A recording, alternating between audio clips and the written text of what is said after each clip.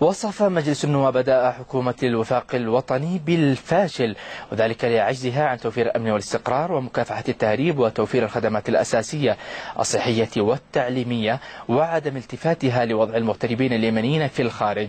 وأوضح أعضاء مجلس النواب خلال استجوابهم لليوم الثاني حكومة الوفاق الوطني بحضور رئيسها محمد سالم باسندوة.